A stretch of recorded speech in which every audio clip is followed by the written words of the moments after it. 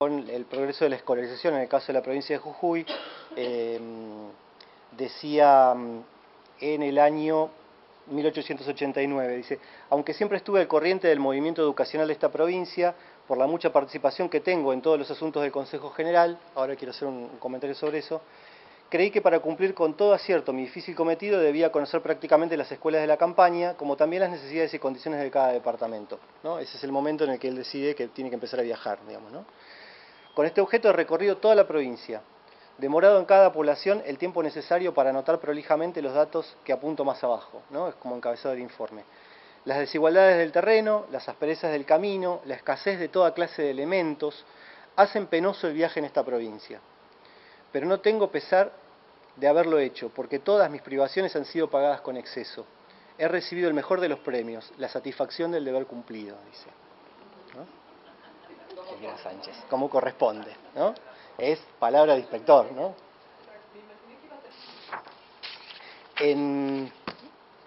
Pero en, esta clave de pintura de la, de la sociedad, digamos, eh, ahora me gustaría comentar un poco de, la, de la, obra de, Díaz, Raúl Díaz fue inspector de territorios nacionales y colonias, inspector nacional de, de, escuelas de territorios nacionales y colonias entre 1886 y eh, 1910.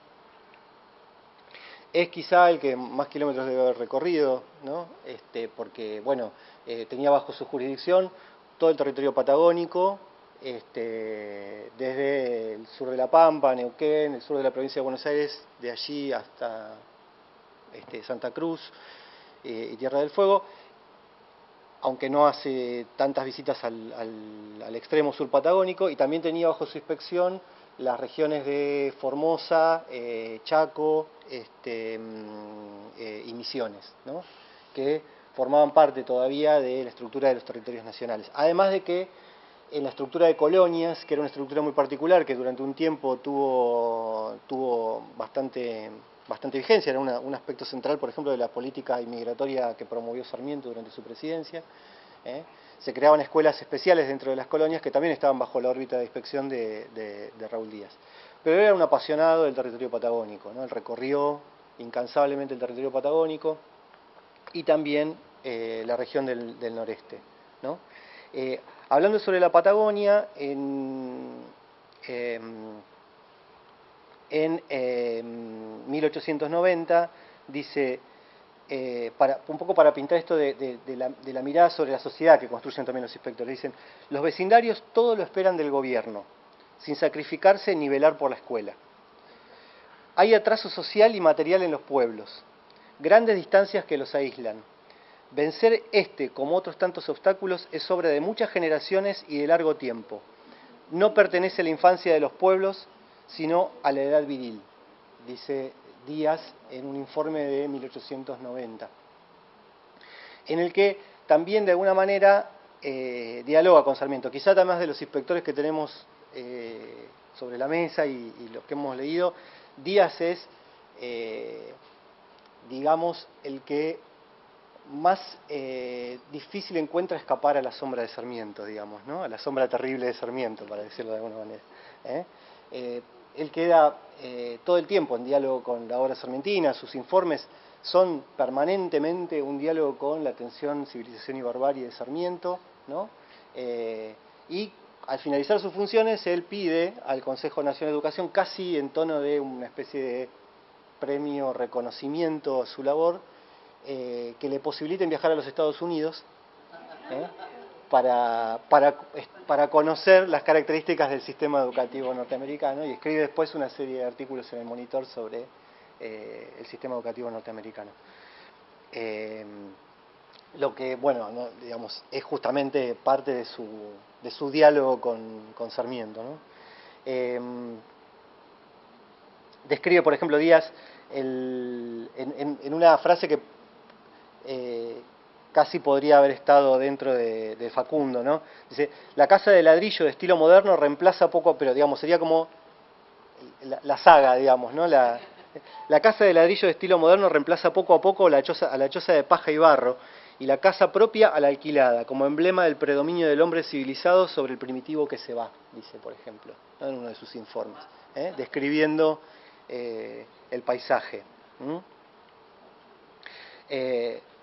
En, el, recorrido por la región patagónica, por ejemplo, otro de sus contrastes, de, sus, de, de los detalles sobre los que dirige su mirada, que excede en la escuela, tiene que ver con el papel de las comunidades inmigrantes en la Patagonia, especialmente la comunidad galesa.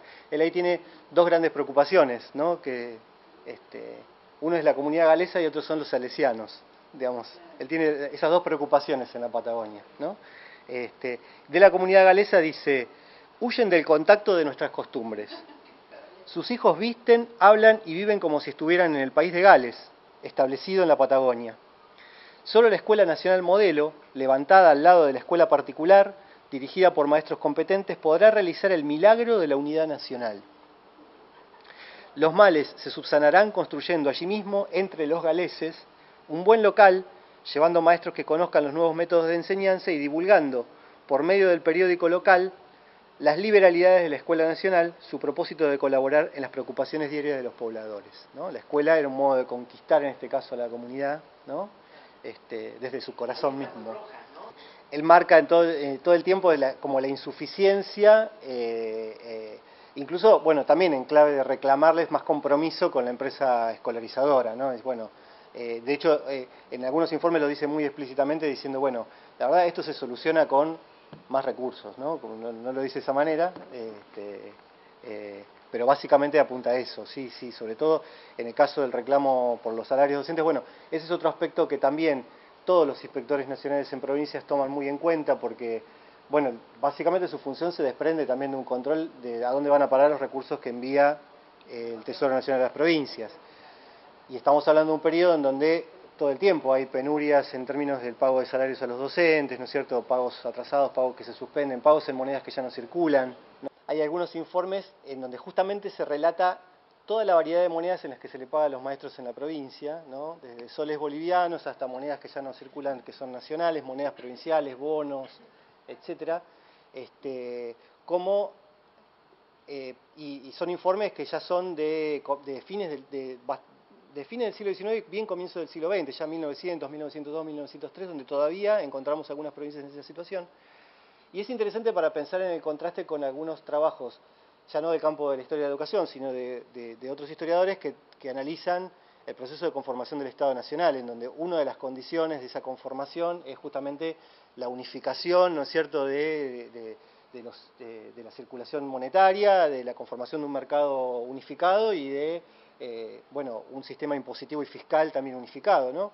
Eh, y donde habitualmente encontramos que muchos de estos aspectos se dan por relativamente saldados hacia la década de 1880 estos informes nos advierten que, exactamente, que hay, hay este, por lo menos aspectos de esa conformación estatal que no son sincrónicos con otros, ¿no? Es decir, donde quizá otros aspectos ya estaban muy consolidados, como por ejemplo el monopolio de la, violencia legítima, ¿no? Este, en 1891, por ejemplo, dice eh, en un informe sobre Formosa, Misiones y Chaco, Díaz, ¿no? Dice, me es satisfactorio elevar a la consideración del Honorable Consejo, habla del Consejo Nacional de Educación, el informe relativo a la gira escolar que he practicado desde el 11 de octubre hasta el 7 de diciembre en las gobernaciones de Formosa, Misiones y Chaco Austral. Con muchas dificultades he tropezado para realizarla debido a la carencia de medios de locomoción, a los soles ardientes y a las copiosas lluvias que en el verano hacen salir de madre de los ríos y aumentan el número y la extensión y la profundidad de los bañados, aislando así algunas poblaciones. Sin embargo, todas las escuelas han sido visitadas y salvadas todas las dificultades. Débese esto en mucho a la eficaz ayuda que me han prestado algunos vecinos de los puntos que he recorrido. Y ah, incluso en el mismo informe reconoce a los vecinos, los menciona, y a continuación deja, no lo dice tan frontalmente, pero deja entrever que contó con ayuda de los vecinos y no tanto con la ayuda del Consejo Nacional de Educación para poder cumplir con su tarea. ¿no? Em,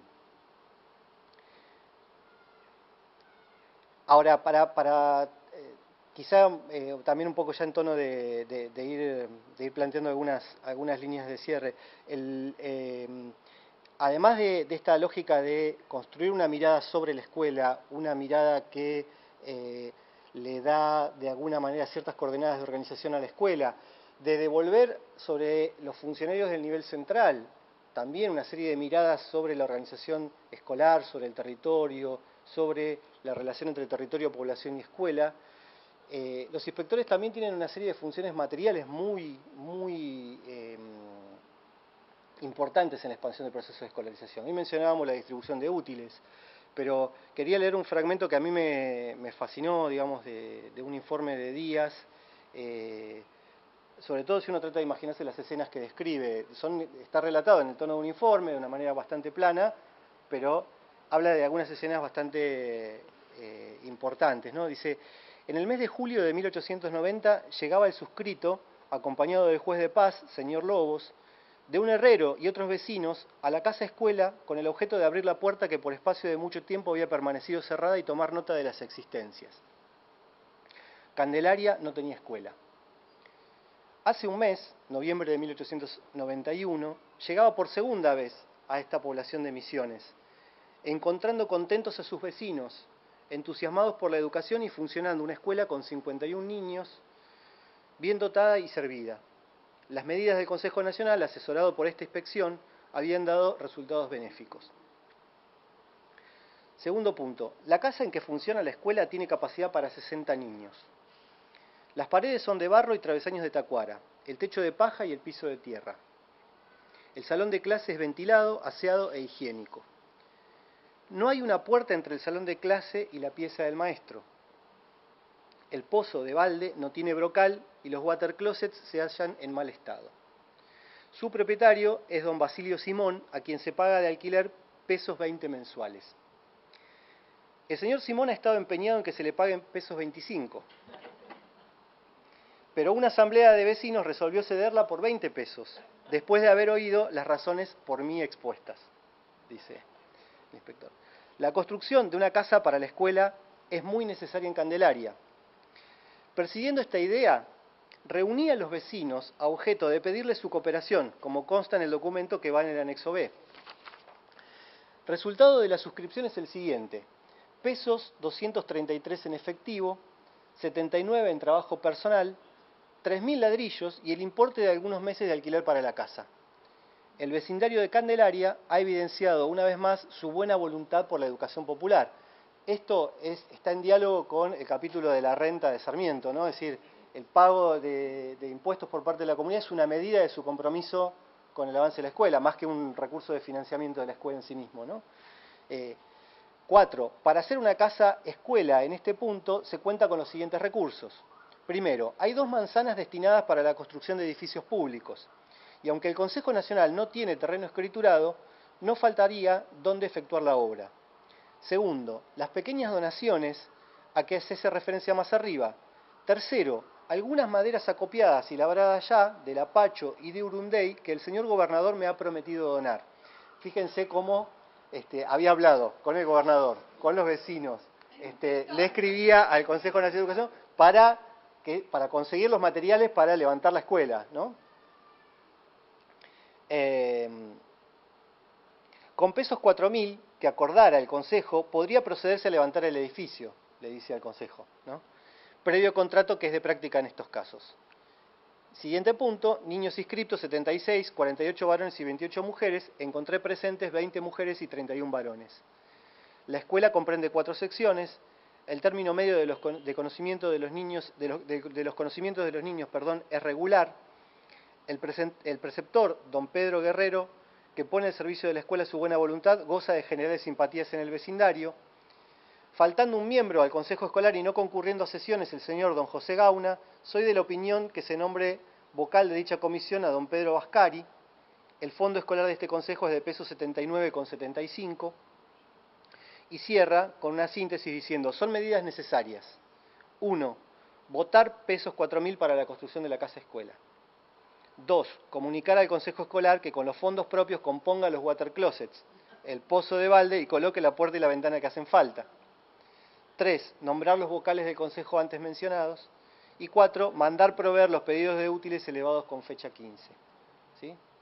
Se, ve, ¿no? Acá eh, eh, hay un, un papel que está descrito de una manera muy, ¿no? este, muy en, tono de informe burocrático, pero que es revelador de una serie de escenas de gestión de este inspector, ¿no? articulando voluntades de presión, tal cual, de, presión, e incluso de representación de la comunidad local frente a las autoridades, ¿no? porque lo que él hace ahí es, bueno, yo te cuento, reuní a los vecinos, ya hay algo de plata, hay buena voluntad, hay ladrillos, necesitamos que voten los 4 mil pesos para que haya una escuela. ¿no? Este, digamos, y esto, eh, como decía el colega, ahí está digamos, todo el tiempo, ¿no es cierto?, en los informes de días, como un reclamo, como una demanda permanente. Dependiendo de las gestiones del Consejo Nacional, a su vez, a veces las, demandas son incluso más perentorias, ¿no es cierto?, más, este, eh, bueno, ponen en evidencia también, por el otro lado, eh, una cierta tensión con, la figura de Díaz, ¿no?, que se convierte en un inspector también incómodo en algunas, para algunas gestiones del Consejo Nacional con estos reclamos. Em, sí, dale.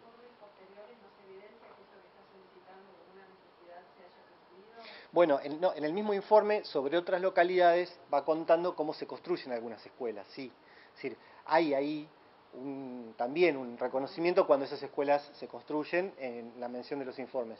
Pero eh, el tono es el de, lo que, de que, bueno, lo que se hizo es lo que había que hacer, digamos, ¿no? Este, claro, claro.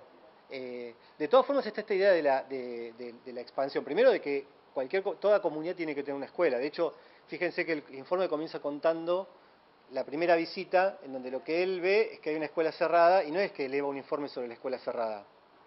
Va y abre la escuela. claro, este, no hay mucha vuelta, ¿no? Va, abre la escuela, eh, hace un inventario, ¿no es cierto? Y este, impulsa que se, que se nombre maestro para que la escuela vuelva a funcionar, digamos, ¿no? Este,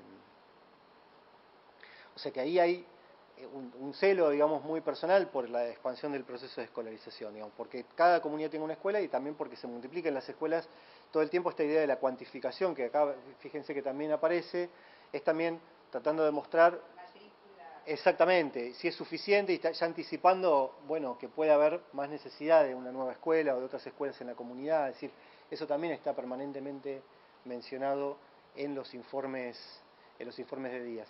Pero esto que, vos comentás es particularmente relevante. Eh, em, las preocupaciones de, días en particular, pero de muchos de estos inspectores, eh, se revelan también como, como, como, el canal por el cual la comunidad local, digamos, ¿no es cierto?, le demanda a las autoridades la, la asistencia, la provisión de recursos, y muchas veces también los maestros, ¿no? Es decir, a veces no es reunir a los maestros, sino preocupa el atraso del salario de las maestras o de los maestros de una comunidad, que los maestros no hayan cobrado, reclamos que van en múltiples planos, reclamos que van al Consejo General, reclamos que van al Consejo Nacional, ¿no es cierto? Porque en este caso, por ejemplo, los reclamos son al Consejo Nacional porque se trata de territorios, pero cuando nosotros leemos los informes de Guerra Sánchez, por ejemplo, que son en la provincia de Jujuy, el reclamo tiene esas dos partes, digamos, al Consejo Nacional para que envíe fondos a la provincia y a la provincia para que los pague, digamos, ¿no? Eh, para que los, los, haga llegar al, los ejecute exactamente. ¿eh?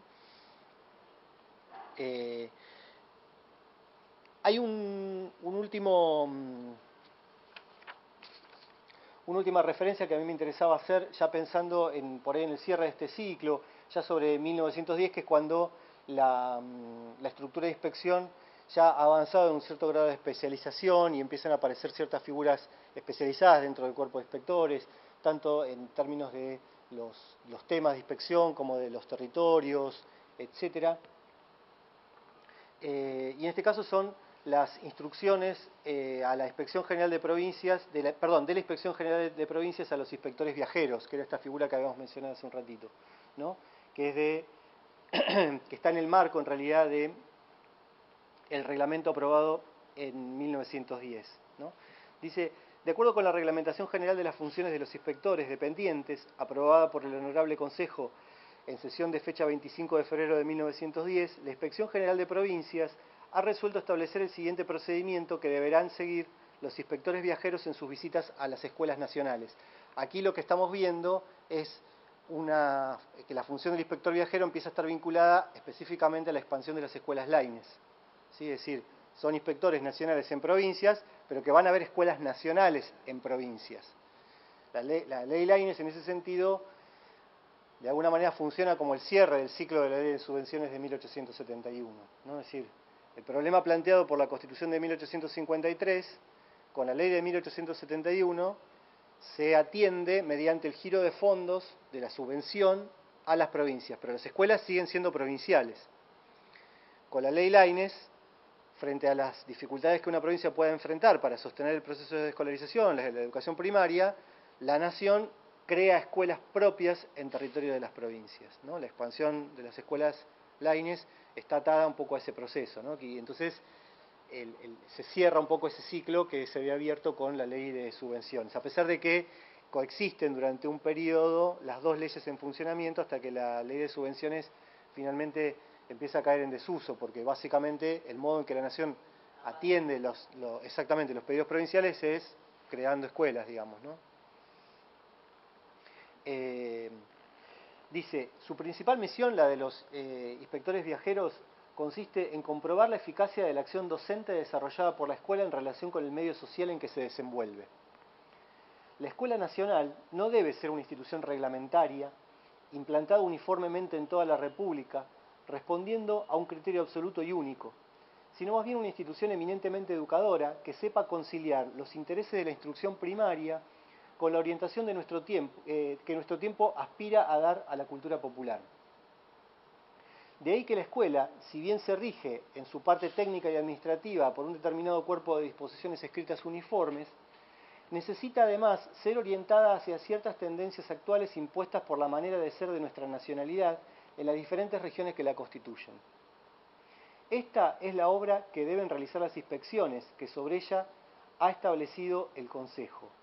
Nuestro país tiene desemejanzas tan grandes de población, de costumbres, de medios de vivir, de socialidad entre sus varias comarcas, que la obra de nuestra escuela debe tender, ante todo, a adaptarse a ellas. Y como esta adaptación no siempre se produce por la simple presión circundante del medio, sino que es necesario orientarla o estimularla debidamente, los inspectores cuidarán de estudiar las características de la región que, eh, visitan para tratar de llevar a, sus escuelas el estímulo o la orientación necesarios, lo mismo que para determinar en los informes que eleven a esta superioridad la relatividad consiguiente de apreciación. De acuerdo con este criterio, no se debe juzgar a la escuela dentro de un canon invariable de principios estrictos, sino regionalmente más bien, midiéndola por la acción que es susceptible de, desarrollar en el medio material y social en que actúa. En este caso, los inspectores viajeros tienen justamente una función eh, casi inversa a la que parecía suponer el origen de la función. Ya no es vehiculizar, digamos, una serie de disposiciones nacionales. Hasta este, las, provincias y las escuelas, sino al revés, ¿no es cierto? Promover la, la, adecuación de esas escuelas a las características regionales o locales, digamos, ¿no? ¿Cómo? Estas eh, son las instrucciones especiales de los inspectores, eh, de, perdón, de la Inspección General de Provincias a los inspectores viajeros de, de 1910 es emitida por el, Consejo General de Educación, eh, perdón, el Consejo Nacional de Educación. ¿Mm? Digo, y, en esto para cerrar, en este tránsito, digamos, entre la ley de 1871 y estas disposiciones que encontramos ya al tono con eh, el, espacio que se abre con la ley Laines y esta idea de un, un Estado Nacional creando escuelas en las provincias, pero también promoviendo que se por lo menos en el texto del reglamento. Siempre sabemos que los textos de los reglamentos son eso, textos de los reglamentos, ¿no?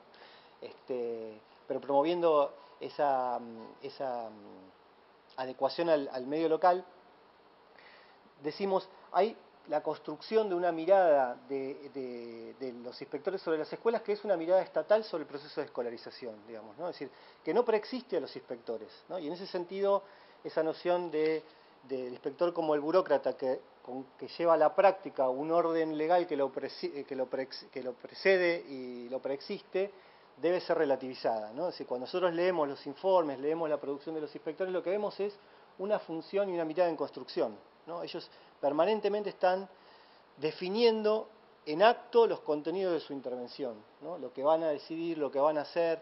Muchos de estos inspectores hacen cosas y describen luego cosas que hicieron que no les fueron indicadas previamente que las hacen porque consideran que es lo que deben hacer en el marco de un mandato mucho más general que tiene que ver con impulsar la escolarización en el territorio. El papel de Díaz, eh, que acabamos de describir, abriendo una escuela, hablando con los vecinos, consiguiendo los fondos, es eso. De hecho, termina demandándole a sus superiores ¿sí? algo que sus superiores no le habían pedido que haga, digamos, ¿no? Este, por suerte, ¿no? En el caso de Díaz. Así que, bueno, eso